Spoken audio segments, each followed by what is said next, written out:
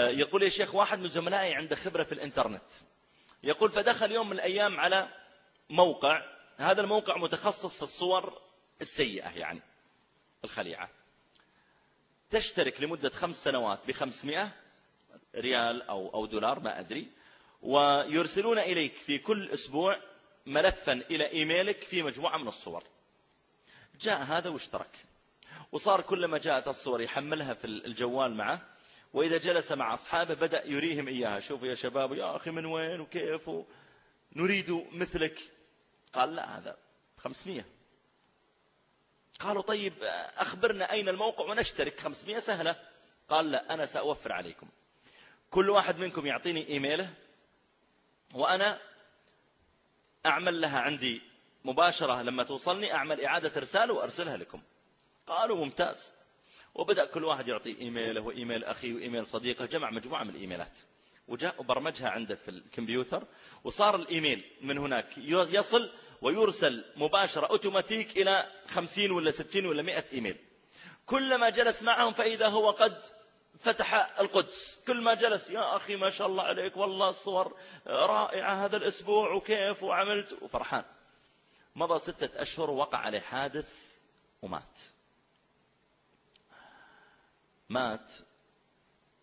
يقول صاحبي يا شيخ صلينا على الرجل ودفناه.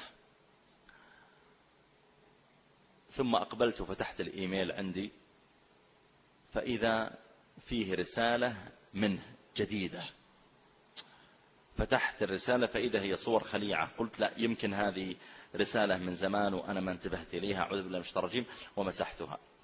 يقول جئت الأسبوع القادم فتحت الرسالة فإذا فيه رسالة وإذا هي رسالة جديدة منه وهو في قبره. مات. فتحتها فإذا هي صور خليعة ملف.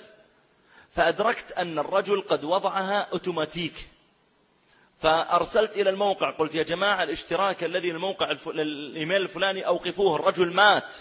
فردوا عليه قالوا أعطنا الباسورد الكلمة السرية اللي هو اشترك بها. قلت ما أعرف؟ قالوا إذا بقي له أربع سنوات ونصف. يقول أنا يا شيخ بنكمل سنتين ولا يزال يرسل لي في كل أسبوع ويرسل لي أصحابي. يقول الله سبحانه وتعالى إنا نحن نحيي الموتى ونكتب ما قدموا وآثارهم اللي تركوها.